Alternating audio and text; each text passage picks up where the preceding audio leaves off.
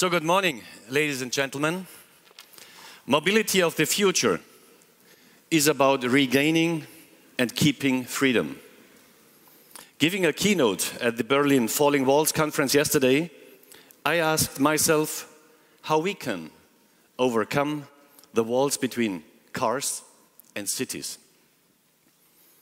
And there is a lot of challenges, but there is a lot of opportunities awaiting for us. The original idea behind the automobile was to travel faster and more convenient from A to B. And what do we face today?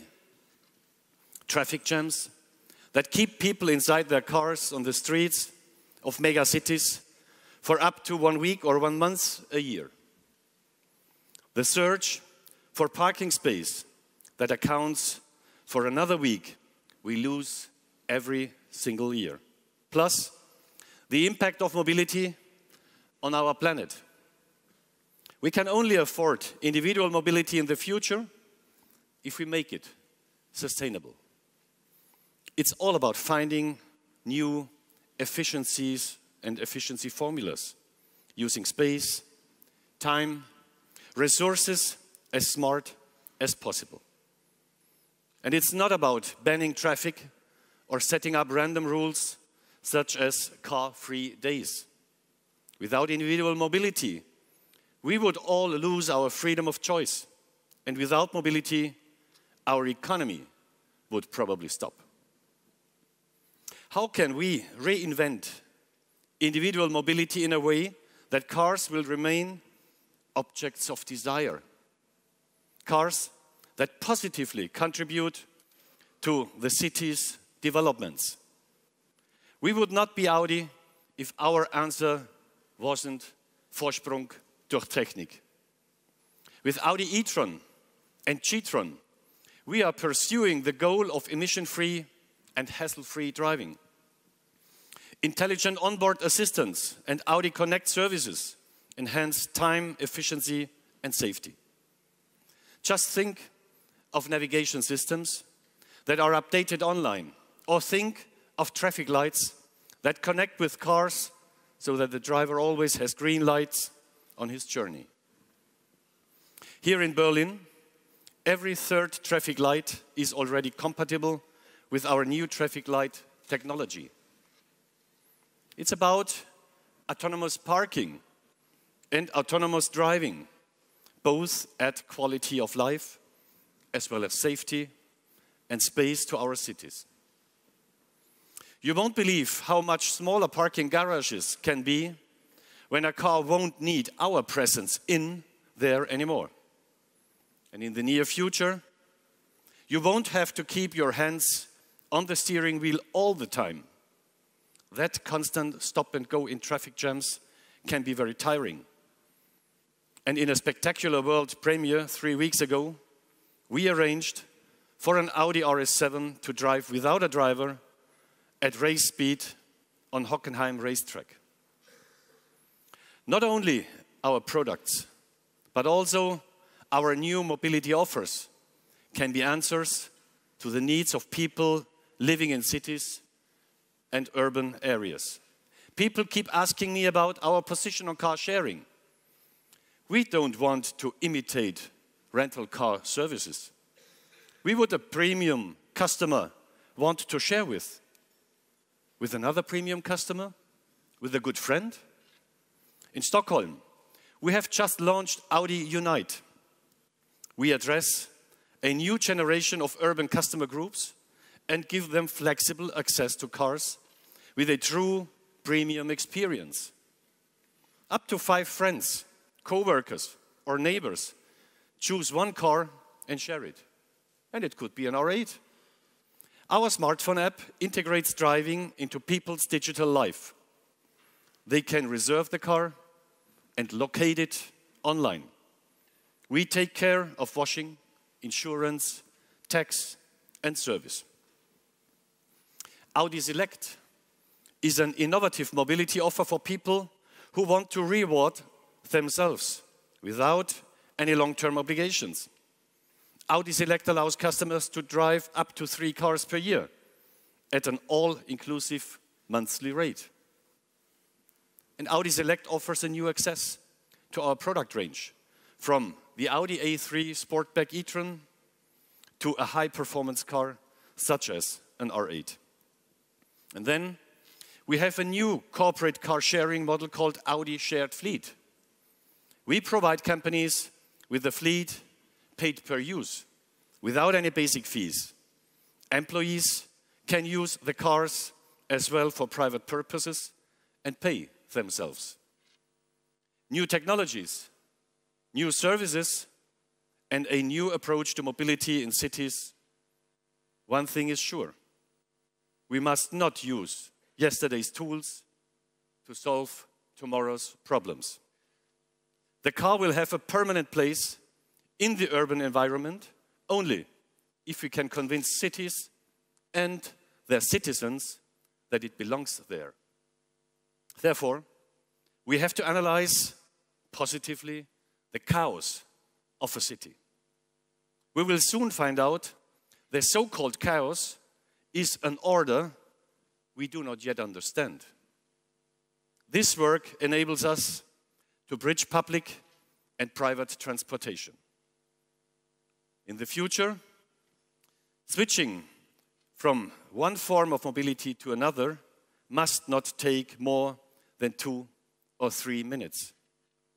Our mission is to decode the DNA of urban mobility. This consists of technological, political, and of cultural aspects. In 2010, we started working with the mega cities of the world in the Audi Urban Future Initiative. We paved the way for four global teams to participate in this year's Audi Urban Future Award. The Urban Future Award team in Mexico City is questioning whether individual mobility can solve problems it has caused in the first place. Therefore, an urban planner, a data specialist, and a city think tank started a large crowdsourced mobility database. With a population of more than 21 million people, the main issue of this mega city is traffic jams.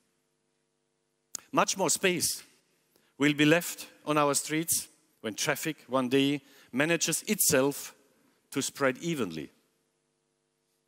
To make that happen, we need to merge and synchronize public, private, social, and corporate data. Cars will collect data for us in order to identify patterns of mobility. Then the city will become predictable and we can take decisions based on solid information. The common data platform and new algorithms will be the core of the new operating system for the city.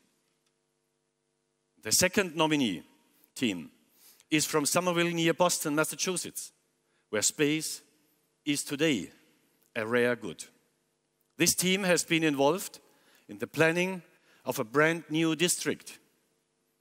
I see two main questions related to their project. What is the logic of investments for the infrastructure of connected mobility?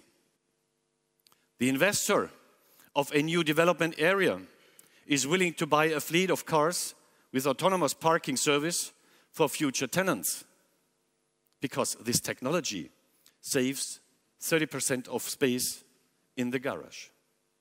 Second question What is the logic of urbanizing technologies? Urbanizing technologies means tailoring them for future city needs.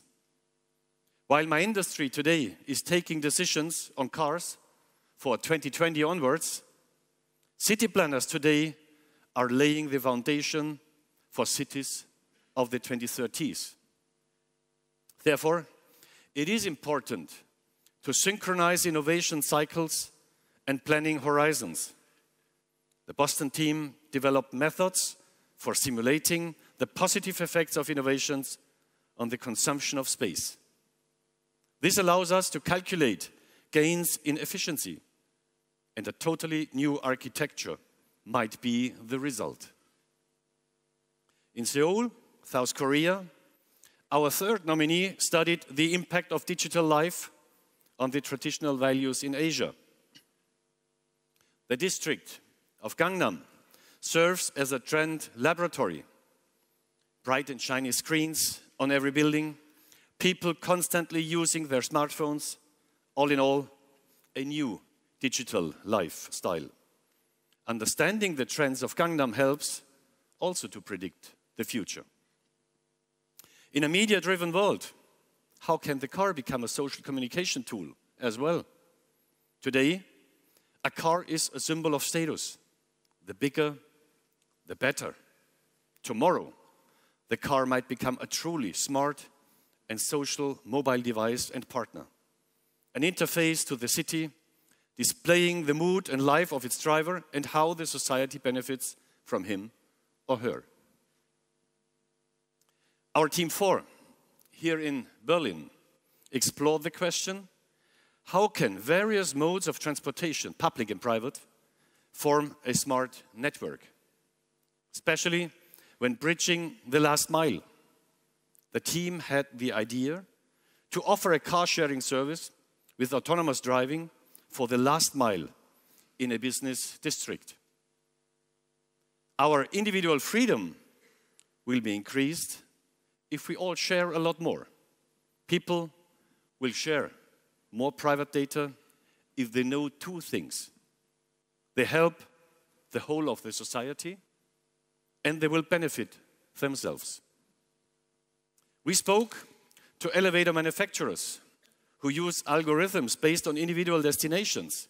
That's how they predict future streams of mobility and control their elevators. Just imagine how much better you could control traffic if everyone of us shared where he or she wants to go in the near future. This will result in self optimizing, self learning systems.